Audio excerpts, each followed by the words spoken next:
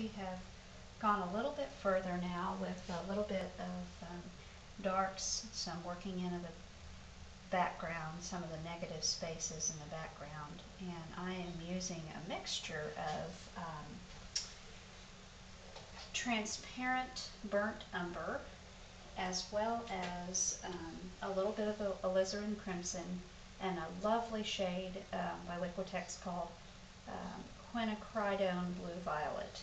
Not sure of the pronunciation, but that's kind of keeping all the darker colors nice and rich and warm. And um, just working in some of the negative spaces. And I've adjusted the, the position of the um, back uh, pomegranate, this, this one here, so as to emphasize the top part a little bit more. I didn't exactly like, as I stood back, I didn't like the positioning of it before, uh, once I took a look. So what we're going to do is kind of emphasize the a little bit more of the form by repositioning that back um, pomegranate. And we want to make sure and lose this back edge here.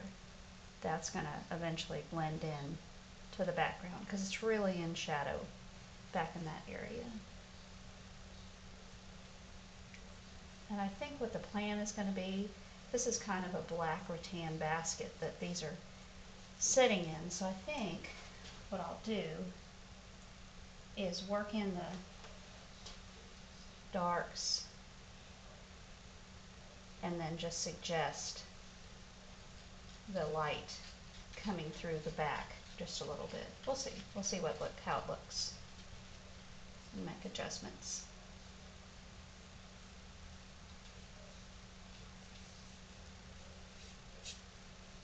But again, this part is really suggested because our focal point should have the main focus. So we don't want to spend too much time um, worrying about the details of our basket.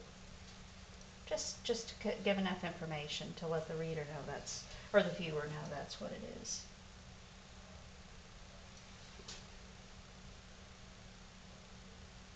And you remember at your focal point, that's where your strongest contrasts are. So, I want to keep that.